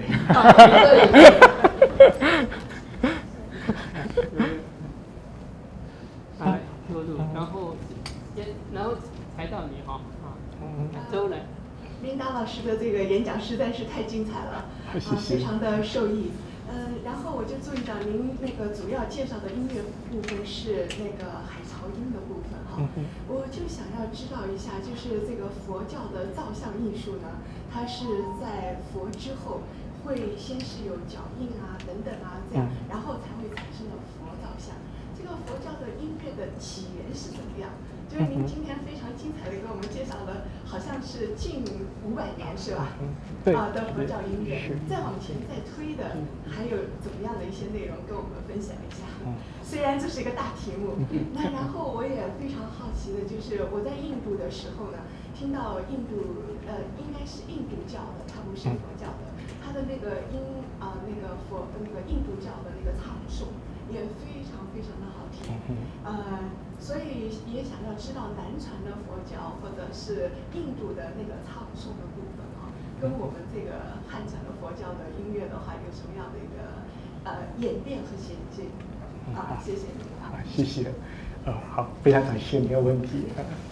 是我们要先这个还是啊？你先哦，好，那我先回应哈。对，好，非常感谢你的问题。那这也是一个非常大的一个问题啊，就是因为如果是要啊，就是要介绍整个佛教音乐，就是整体佛教音乐的发展的话，可能是还是需要多一点时间。那我就非常呃简单的，就是跟你啊稍微就是介绍一下关于比较早期的这个佛教音乐的唱诵的方式。那一般学者会认为，一般啊，就是最早期或者是所谓原始佛教当时，呃，诵经的方式其实会会比较像是南传上座部诵经的方式。那当时早期的佛教啊，诵经的时候其实是不敲法器。那其实这些汉传佛教发展成这些法器，其实是所谓华人地方的乐器。所以早期的佛教音乐啊，就是所谓的诵经的方式，其实是非常单调，然后也是。不敲法器，所以比较类似像南传的巴黎文诵经的方式。那我就唱一小段了，就是像这样子的。南无大舍巴嘎巴多阿拉哈多萨玛萨布达萨。南无大舍巴嘎巴多阿拉哈多萨玛萨布达萨。南无大舍巴嘎巴多阿拉哈多萨玛萨布达萨。就会是比较类似这样子的，那呃也有一些呃民族音乐学家他们会认为像这样子的这种唱诵的这个方式会比较类似早期就是古印度印度宗教。的这种诵经的方式是比较类似的。那也呃，一般学者会认为，华人的汉传佛教音乐的这种诵经的方式，很多是受到当地华人音乐的这个影响，以及其实道教音乐的影响。像呃，有一个法国学者叫 Christian Molier 的一本非常重要的书叫《Buddhism and Taoism Face to Face》，他其实在书里有提到，就是佛教很多这些仪式以及这些呃。呃，法器的这些呃文化，这些音乐的传统，其实有些是呃从道教那边就是吸取道教的这些呃音乐风格。嗯，谢谢。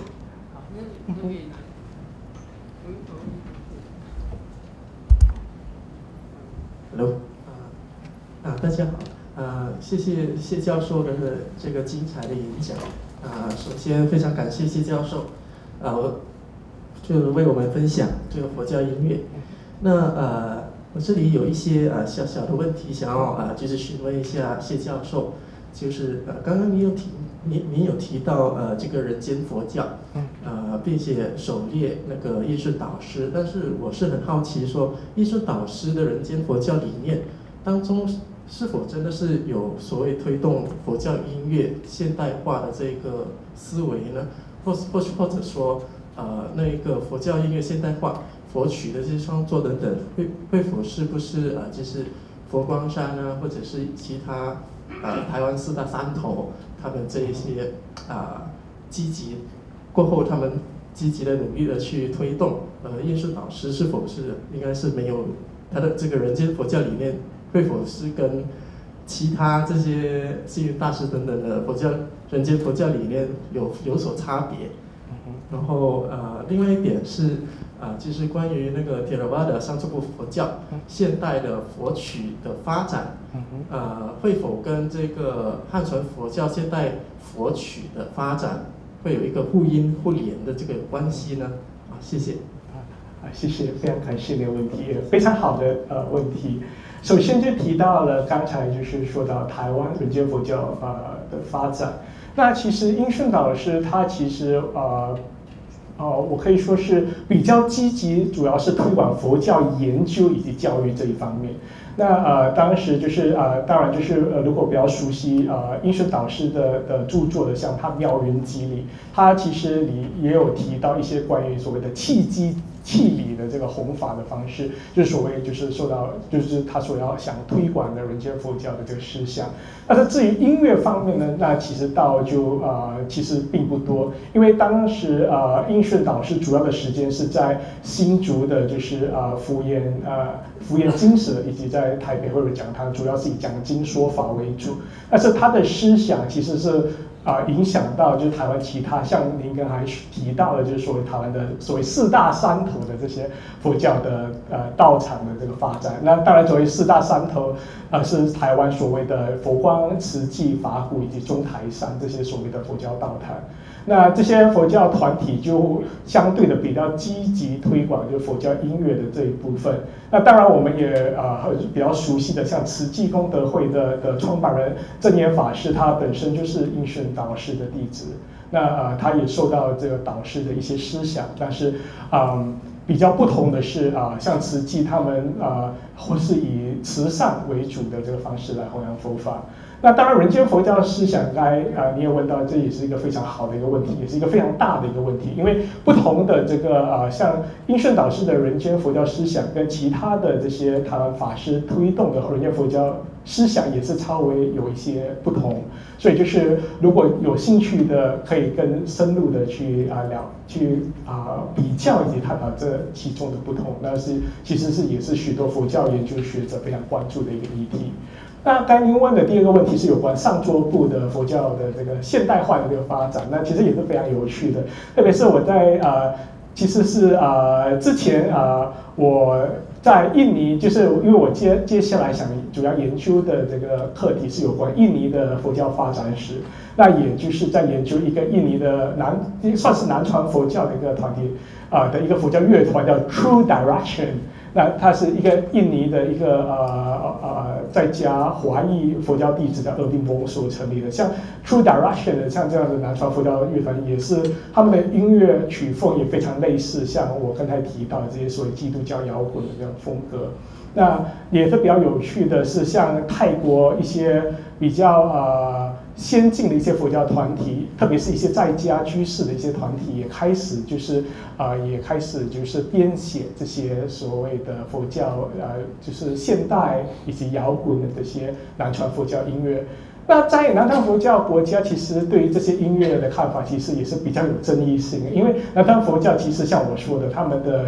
的音乐风格是比较单一，比较就是以诵经为主，所以和一些比较保守的这些佛教团体会认为这些佛教摇滚啊比较流行的这些音乐是比较呃比较不太好，对，就有一些就是呃不同的看法。那这个汉传佛教，因为就是呃。受到人间佛教思想的这样的一些呃现代化的这个过程，所以对于这些佛教这些比较先的先进的这些流行或者摇滚的音乐，还是比较要愿意接受的。好，还有还有下一个问题。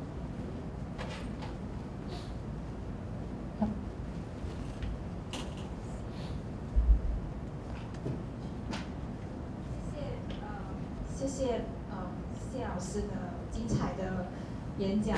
然后我本身不是做宗教研究，但是我也是被深深的吸引住了。然后我有呃两个小问题吧，想要问一下谢老师，就是呃第一个是，就是您刚才有讲到佛教音乐，然后也拿了呃就是基督教音乐做对比。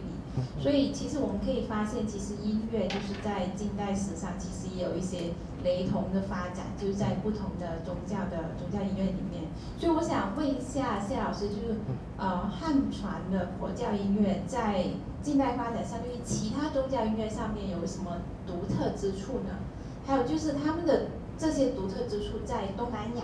这个比较特别的这个地方有。有没有什么值得我们注意的地方呢？还有就是因为呃，比如说新加坡，我们的音乐发展其实也是挺坎就挺坎坷的，所以您对于这个方面会有没有什么建议呢？就在基于汉传佛教音乐这个这个领域上。嗯，啊，对，所以啊。很感谢您的问题。那就是您提到，就是在音乐文化上这个互相的这样的一种呃互相的影响，其实，在对于做民族音乐学的学者是也是非比较关注的一些议题。因为对于民民族音乐学学者来说，这个中呃文化以及历史，其实对于这个中呃音乐的这个影响的发展，其实是有非常重要的一个关系。那同样的，就是佛教音乐也受到当地不同的文化历史的。发展，而也影响啊，就是这个佛教音乐，特别是汉传佛教音乐发展的这一方面。那至于就是您问的这个非常有趣的第一个问题，有关新加坡的这个音乐这个环境，那其实也是非常有趣的。因为其实新加坡其实也有一些人说，就新加坡早期的新加坡，可有些人认为是一个文化沙漠，就是比较少有这些音乐艺术文化的这样的推广。但是至于华人音乐方面，其实是算蛮早的时候就已经有所谓的华乐的这样的的这些团体的形成，包括所谓比较民间的这些华人的音乐，像南音。啊，就是我们比较熟悉的，以及就是像啊非常早的时候就有那个郑朝吉老师的丝绸华乐团，就在新加坡对于推广华乐这方面扮演非常重要的角色。那之后呢，当然就新加坡也成立了这个新加坡华乐团。那至于佛教音乐的发展，其实就跟这个新加坡华人音乐的发展其实不太一样的。主要这个原因是因为新加坡呃的这个佛教的音乐，主要是在佛教团体里面的这个呃的，就是演奏以及就是啊唱诵，所以其实不太受到整体新加坡的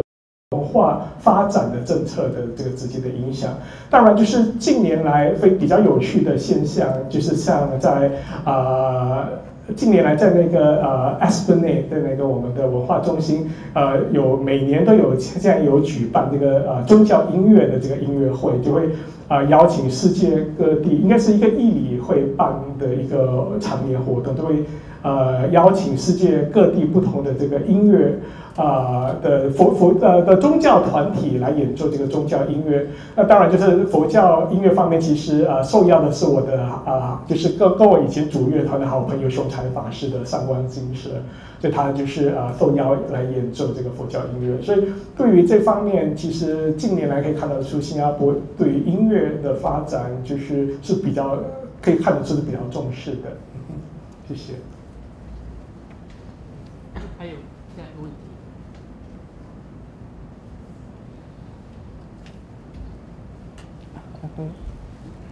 呃，我对这个佛传、汉传佛教的这个音乐知识是等于零了，所以我现在想问的一个问题呢是比较离题，就像呢周主任刚才所所谈的，就是新加坡的双语政策。那我在我这个年代，我本身是华侨生，所以如果能够讲的比较流利的华语是理所当然。那么今天你的这个流畅的华语。导师让我非常的惊艳，啊，那因为我我这几十年来，我一直对这个新加坡政府的双语政策，我感觉到是完全的失败，因为我本身的侄儿这些外甥啊，他们都是他们的成长的年代就没有这个华校，所以他们所熟悉、所接触的文化都是西方的软文化，所以他们的这个思想，他们的。交谈的语言都是英语，所以我想很好奇的想知道，你成长的年代是什么样的环境，使你能够掌握这样好的这个华语？啊，这这个这个导致到我对这个双语政策，现在我自己的观念可能要要稍微要做一些调整。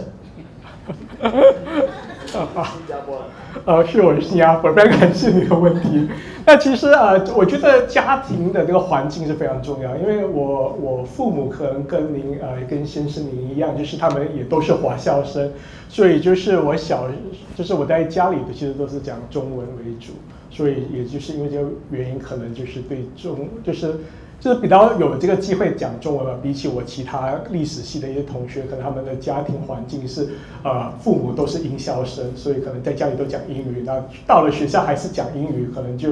能够就是用这个语言的机会相对比较少。那另外一个原因可能是跟我上佛学班有关嘛，因为就是上佛学班，就是其实上个法器班，通常上课都是用中文教授，所以就是也因为这个原因，所以呃上课的时候都是用中文。那看的时候，很多时候这些佛经啊这些呃这些经文都是用繁体字，所以也因为这原因，是也让我能够呃更好的能够有这个机会看一些像繁体或者像文言文的这些经典，所以可能就对我的这个中文的学习有所帮助。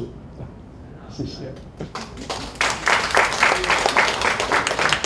再再一个问题好吗？再一个问题。来。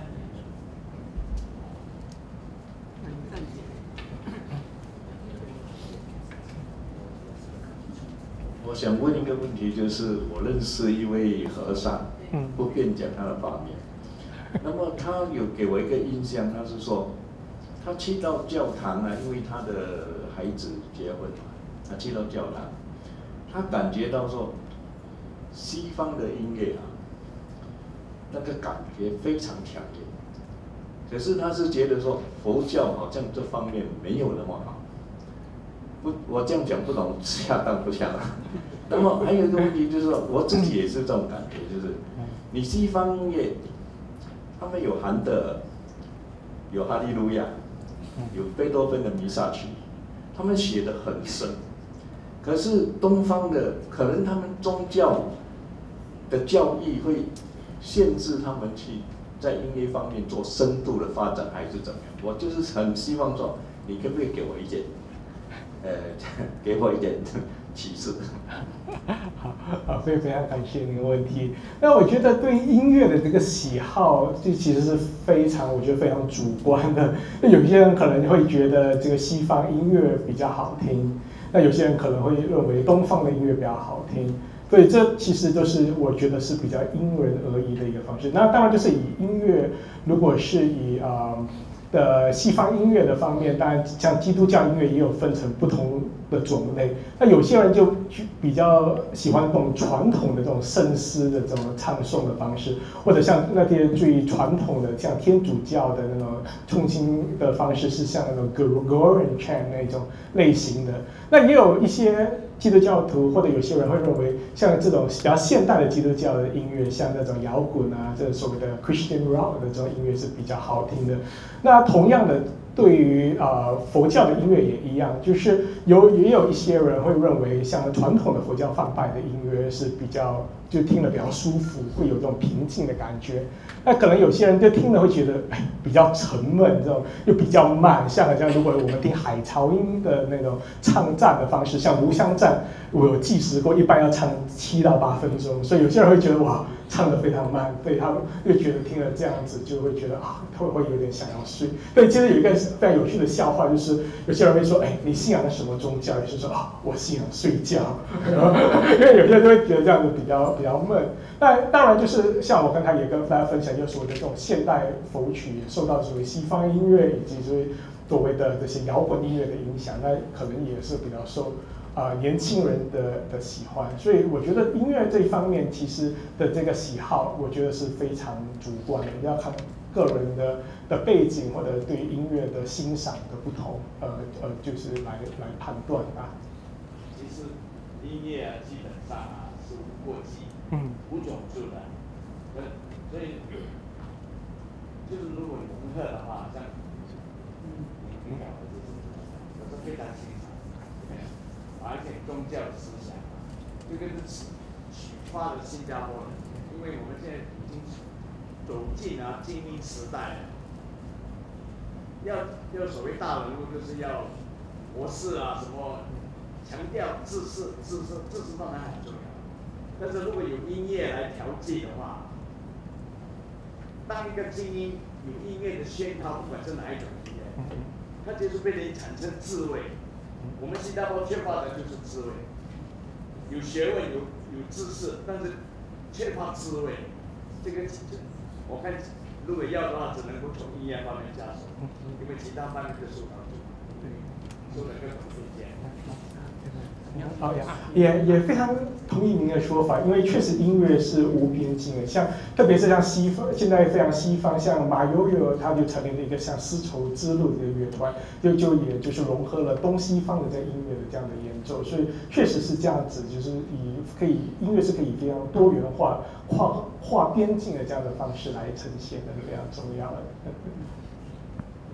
啊，这一件你讲的很对，那个智慧啊。智慧的慧就是佛教的一个 传到中土以后才有的感觉，然后我们有会从精神生过来的，对对，精神包括一点了艺术、智慧，知识跟智慧参与在一起啊，才是真正的精英。对对对，你讲的对啊，所以这个我想啊，我我们我要做一个总结，最后给给我一两分钟，啊，这个。我刚才我们在讲了，今天明达很感谢明达，呃，谢教授，给我们从佛教音乐的角度啊，做的这样这个精彩的分享啊，啊，很有启发性，我也深有同感啊。那么这个其实佛教在中国文化里面，它这个为什么佛教传到中土以后，传到中国以后会这样快的这个散播这样快？呃呃，有学者曾经做过这样的一个。分析，我也觉得是有一点道理吧，就是我们知道这个中国文化，当然这个呃发展的很早，呃夏商周以前不去讲它，起码我们从有夏商周的这个记忆以来，你从夏商周呃一直到这个周代呃战国或者先秦的这个时代，当然那个已经高度发展了的中国古。你以这个呃诸子百家之学问作为代表话，呃诸子百家的学问，它是从这个呃殷周两代的王冠之学来，所以王冠之学讲的是怎么样管理一个国家，管理一个社会而发展出来的应对社会的需要而发展出来的学术能力，呃，但是这样的一种知识传统。可能有您说的一个问题，就是太注重精英主义，它主要是为士大夫阶层，或者是焦点比较放在怎么样从一个为宏观的角度，从上而下来这个为人间寻找一个次序，不管是西殷殷商西周为代表的旧次序，还是礼坏乐崩以后，孔子发展出所谓儒家思想那样的应对。因为西周或旧的秩序不行了以后，他们觉得应该要从人的这个人人的这个内省里面去呃寻找这个文化跟社会的根基，这个新文化。这两这个有这样高度发展的文明，当然是令人感到这个很很很呃印象深刻。可是这样的一个文明啊，可能他们。比较互失一个焦点，可能就是你刚才我的书里面提的来的，就是说，其实社会底层的人们的需要，尤其是心灵的需要，这个可能是士大夫阶层的文化比较没有关注。所以佛教的是在中国散播能够降快，可能它应对的刚好是解决这样的一个问题。为什么讲？为什么这样讲？我们讲佛教文明或佛教文化的时候，经常归纳到。两个字就是慈悲，慈悲为怀，普度众生。什么叫慈悲？慈就是赐予快乐，赐予安慰，叫慈。把你的苦难拔除去，叫做悲。啊，而苦难的拔除，还有需要这个用这个垂注注的眼光来给你安慰，给你慈爱，给你这可能，这种正是。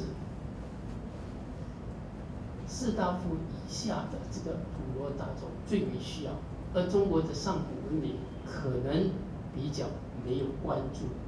也就是诸子百家之学比较没有放太大的心力跟焦点所在的地方。